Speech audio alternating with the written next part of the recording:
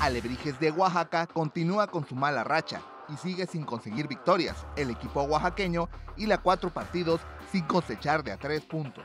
Los dirigidos por Mario García desaprovecharon la condición de local y de paso perdieron la etiqueta de invicto en el Estadio Tecnológico de Oaxaca, cuando el sábado pasado perdieron por la mínima ante su similar de Cimarrones de Sonora.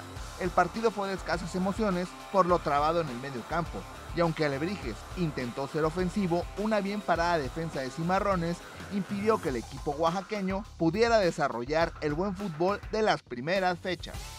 Cimarrones se encargó de destruir cualquier intento de ir al frente de Alebrijes. El equipo visitante se sacó la lotería sin comprar boleto y al minuto 33 en un contragolpe, Oscar Villa se coló entre la defensa central de la escuadra oaxaqueña y ante la salida de Lucero Álvarez disparó arriba y a la izquierda del arquero uruguayo para irse al frente en el marcador.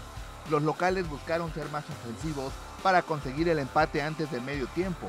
Sin embargo, en los primeros 45 minutos solo tuvieron dos disparos a la portería contraria.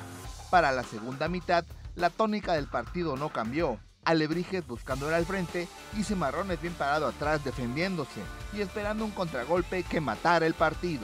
Mario García movió sus piezas, sin embargo no le dieron resultado y el equipo oaxaqueño no pudo conseguir el empate. Aún con la derrota, Alebrijes de Oaxaca se mantiene en zona de calificación con un total de 20 puntos, producto de 6 victorias, 2 empates y 5 derrotas, para ubicarse en la séptima posición de la tabla. La escuadra oaxaqueña viajará a la ciudad de Guadalajara para enfrentar el próximo miércoles al rebaño sagrado por la semifinal de la Copa Corona MX, mientras que su próximo compromiso en la Liga de Ascenso Bancomer MX visitará a los Loros de Colima. Con imágenes de Omar Pérez, informó para MM Deportes Alfredo Canseco Brena.